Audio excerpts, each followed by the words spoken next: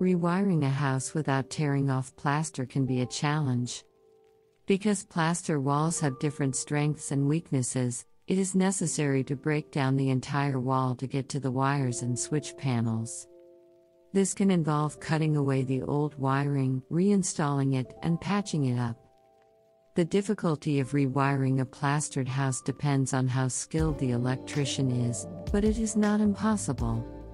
If you are going to rewire a house without tearing off plaster, you will have to prepare the walls first. Make sure you move furniture out of the way and cover any floorboards. Cut out the old wiring with a hacksaw, making sure to disconnect all the existing wires before moving on to the new ones. Install the new wiring. Be careful not to hit the old ones, since they could potentially be in the ceiling.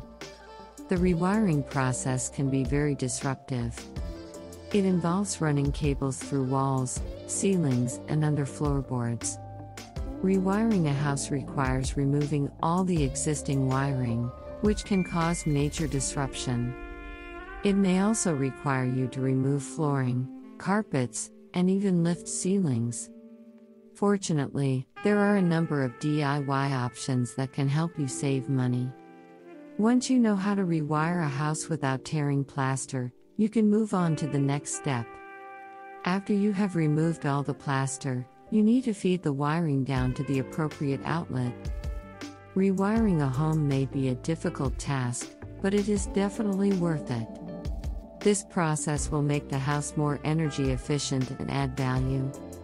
So, whether you want to renovate or repair, the right materials and tools can make the process easier. Before rewiring a house, it is important to consider the type of wiring. A newer house will have less electrical wiring than a 1920s one, so make sure that the wiring is in good condition. A professional electrician can also install new electrical circuits and replace outdated ones. The job will be cheaper and easier if you plan ahead and prepare the wiring properly. A qualified electrician will ensure that the wiring is safe and the job is completed correctly. Before rewiring a house, it is important to check the wiring. Although it is essential to avoid damaging the paint, the wiring can lead to a fire. If the electrical wires are in a good state, you can repair them without removing the plaster. If the wiring is in bad condition, a professional will be able to fix it.